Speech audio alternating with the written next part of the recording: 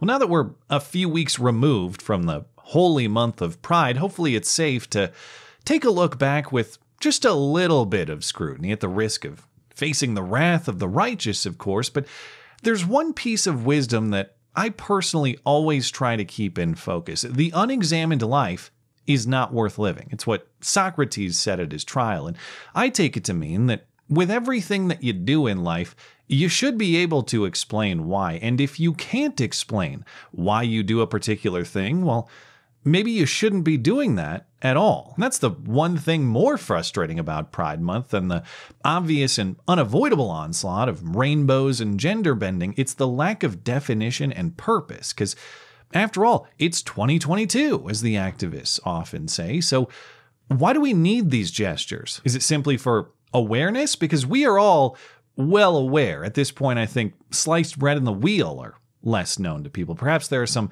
isolated tribes somewhere remote who have yet to be forced to taste the rainbow, but scientists are still searching. Is it about political activism? If so, please point to the law that actively discriminates against gay people and do be specific because outside of extremely isolated cases, all the major institutions of American political power have exerted that influence and force to the efforts of the activism in recent years. So, if this is about political change, that change is actually the status quo. Is it fighting oppression? Well, if so, the very existence of this celebration cuts against any oppression claim, at least systemically. And even more so when the celebration isn't just a holiday, but a Hala month. When that national celebration is recognized with a presidential proclamation it's not oppression. When pro athletes and entertainers and other public figures are browbeaten into not just toleration, but active affirmation, regardless of their own personal convictions, it is not oppression. When your holiday is commodified with feature displays at major retailers, sure, they're out of baby formula, but at least there are plenty of My First Pride onesies to clothe your starving baby. It is not oppression.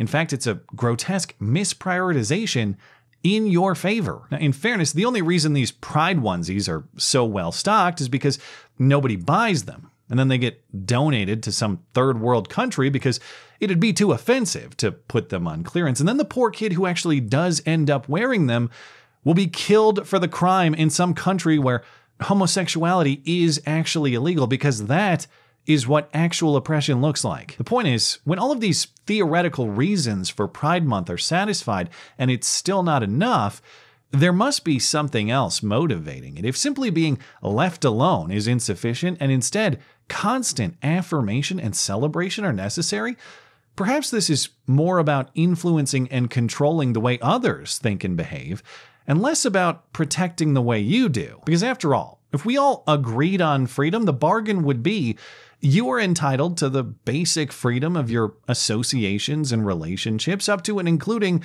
whatever consensual adult oddities you like behind your closed door. But that respect for your freedom comes with an obligation to reciprocate and even more basic freedom to others the freedom to think whatever the hell they want about it, up to and including outright mockery. And if you refuse that deal, if instead the deal is freedom for you to do whatever you want, but no freedom for others to make fun of it, well, then this isn't really a deal about freedom at all. It's just a power move in pursuit of domination and submission, as in the actual political kind, not the Pride Month kind. That is why the meme at issue in today's story has become so powerful. Number one, because there is an element of truth to the idea that this is all about domination, not freedom. But number two, because the most effective counter to authoritarianism, whether it's political or just cultural, is mockery. That combination of truth and effective mockery is how you get this image, the hilarious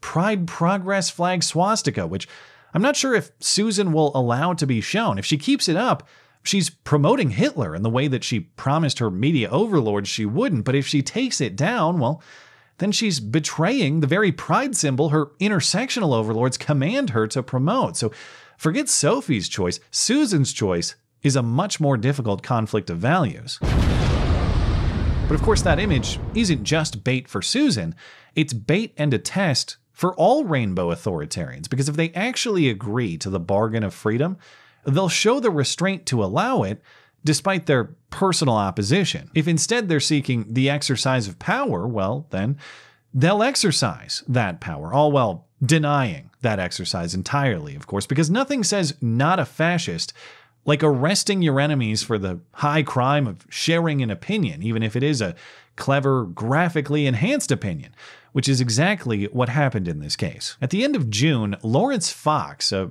British actor turned campaigner and leader of the British Reclaim Party, shared that blasphemous pride flag swastika image on Twitter to commemorate the blessed and most holy month. For that, his account was later suspended, but while the tweet was up, it was retweeted by a Hampshire man named Darren Brady. He's a 51 year old Army veteran. Some reporting says Brady simply retweeted the image without adding his own commentary. Other reporting, which quotes Brady, says he reposted the image in a debate forum that he frequents, perhaps both. In some or multiple forms, he amplified the reach of the image. And for that, someone reported Brady not just to Twitter or the host of the forum in which he participates, but to the Hampshire police, who showed up at his house not just with a warning, but with a Stasi esque re education extortion threat. Police told Brady he could pay an 80 pound fee to take an educational course to see the error in his ways, but if he doesn't, he faces arrest and potential criminal charge for the supposedly hateful act of clicking the wrong button on a computer screen. Brady said he needed some time to consider his options, and the police agreed to return another day for his decision. In the meantime, Brady contacted Fox, the original poster of that flag meme, as well as Harry Miller, a former police officer who works with Fox at the Bad Law Project, the organization the two run together to fight what they call ideology disguised as law, of which they say this case is an example, and the two agreed to go to Brady's home in anticipation of the police officer's return. And on Thursday, they did return, and apparently Brady said no thank you to their kind offer of just 80 pounds for re education, and police wanted further discussion on the matter, but were refused entry into the home. And because of this refusal, to further discuss the offense, police then arrested Brady, some footage of which was recorded by Fox and posted on his YouTube channel. Tell us why you escalated it to this level, because I don't understand. I posted something that he posted. You come to arrest me, you don't arrest him. Why has it come to this? Why am I in cuffs? Because there's something he shared, then I shared. Because someone has been caused, obviously, anxiety based upon your social media page. That's not the reason why you've been arrested. Just in case there's any doubt about why this altercation is happening, no. According to police themselves, it is no more complicated than it appears. You shared a meme that caused anxiety to an unknown accuser, even though the meme wasn't directed at that person specifically. It's just something that person happened to see. What even is the crime here? Because causing anxiety surely can't be it. I'm caused anxiety when I walk into Target and see queer socks featured where they used to be things people actually buy. I'm caused anxiety when I see the pride flag flying where the American flag doesn't. I'm caused anxiety every single time that I log into Twitter because most tweets I see are anxiety inducingly moronic. That's really the point. And in none of these cases does my personal anxiety justify kicking down other people's doors over it. Another legal point I'm unclear on, and I don't understand your limey law, so perhaps one of you redcoats can inform me, but without a clear legal basis for the arrest, as in a clear crime alleged and charged, what is the legal basis for the forcible entry into the home anyway? Police say the fact that they were refused entry is why the arrest was made, but refusal of entry is the default. They don't have a right to enter unless they show it in the form of a warrant, and they can't show a warrant unless it's based on a crime, but the specifics of that crime are never explained. According to Miller, police weren't able to explain it at the scene, other than this causing anxiety description. But if causing anxiety is an arrestable offense, every single British person will be locked up. Everyone is guilty of that. You might even cause anxiety by being overly polite. So don't just watch your memes, watch your pleasantries too. And Brady wasn't the only arrest on the day, actually. Miller, the ex cop, attempted to intervene in Brady's arrest, putting himself in the middle and telling the arresting officers they'll have to go through him first. Well, apparently they did and arrested Miller for obstruction. And as they were hauling him away, he committed yet another high crime of mockery. Have you got anything on you that could harm me or you? Uh, just my razor sharp Can we get the letter knowledge for of the chief? Both men have since been released from custody. Brady tweeted a selfie on Sunday saying, It's nice to be able to enjoy a Sunday morning in peace without being harassed by the Hampshire police, trying to extort money from me or have me re educated for sharing a meme on the internet. As far as I can tell, the terms of any prosecution of him or Miller are unclear, but unlikely now that the police commissioner, the elected official who runs the police force, is publicly criticizing the police action. She says she's concerned with both the proportionality and the necessity of the police response to this incident.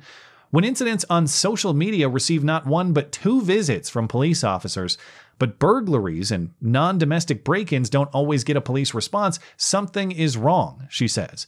She pledges to work with the police academy and other leadership to ensure guidance is more clear on the issue. Well, great, at least in this one instance, but that doesn't really answer the question of what was the guidance before? Were these officers following that guidance or were these officers just going rogue? And of course, even if this was following orders, every individual officer has a personal choice of whether to personally participate or not. But inquiring minds want to know is this just one off individual officer misconduct, or did this incident reflect broader priorities of the police department overall? Because clarification of the guidance implies that there is guidance for memory, and really, there need not be any, or at least almost none. Here's the only necessary guidance Is it a threat of imminent lawless action? If not, then move along because it's not a crime. It's just a guy with an opinion, edgy or not,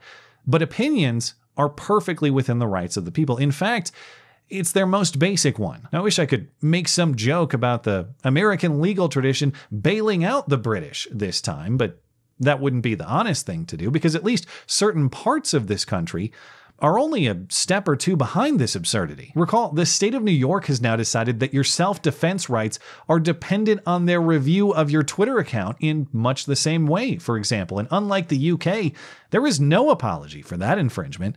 In fact, it's celebrated as an achievement. Any joke about this happening in some faraway land rests on logic that applies just as seriously here at home by politicians who even if they lack the power to do it today, will eagerly do it tomorrow the second that power is achieved. And so the mockery must remain squarely directed at them because beyond the preservation of our rights, we have crucially important questions to answer, like what swastika variants are acceptable to those who prove their opposition to it by reenacting the very authoritarianism it symbolizes. As many are asking, can we make them out of Union Jacks, for example? Is that okay? Or how about other progressive priorities, like one made out of a hammer and sickle, or one made out of Planned Parenthood logos? And what if I wear the queer socks while posting these swastikas? Do those gestures cancel out? Because as we've established with the re education deal, this is all transactional.